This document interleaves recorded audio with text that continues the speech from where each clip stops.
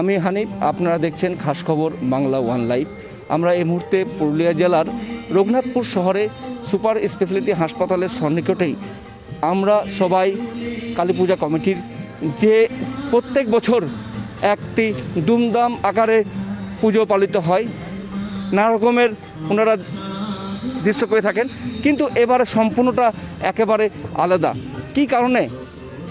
Corona পরিস্থিতির কারণে না আর্থিকের কারণে সমস্ত আমরা জানব কমিটির পক্ষ থেকে।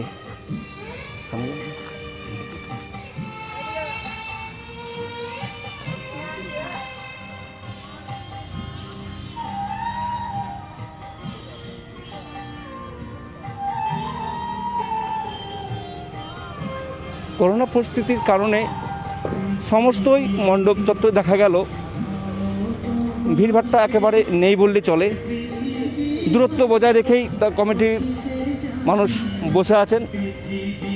সমস্ত দৃশ্য দেখতে পাচ্ছি প্রত্যেকটি মণ্ডপে। এখানে আমরা কমিটির সদস্য থেকে যাব।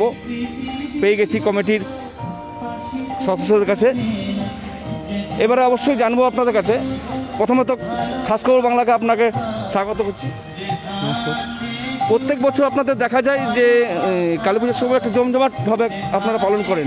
এবারে একেবারে ভিন্ন রূপে দেখা যাচ্ছে। কি বলবেন হ্যাঁ বলার কি আছে? এখন যা হ্যাঁ গোটা বিশ্বজুড়ে যে একটা ব্যাপার চলছে করোনা সম্পর্কিত, তাতে এখন সুস্থ থাকাটাই বড় ব্যাপার।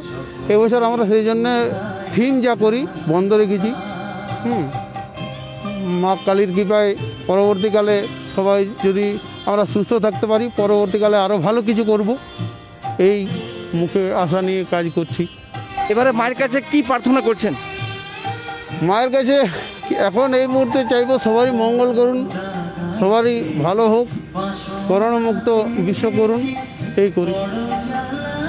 আপনার নাম? আমার নাম বিদ্যুৎ চৌধুরী। আপনি এই কমিটির? আমি এই কমিটির মেম্বার। ধন্যবাদ। আমরা যেখানে গেছি যে মণ্ডপে গেছি প্রত্যেক জায়গায় একই কথা মায়ের কাছে এবারে চাইছেন শুধু করোনা থেকে মুক্তি।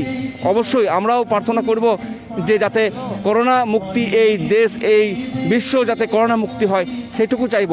আমি আমার ক্যামেরাম্যানকে বলব আরেকবার মণ্ডপের দিকে নিয়ে যাওয়ার জন্য।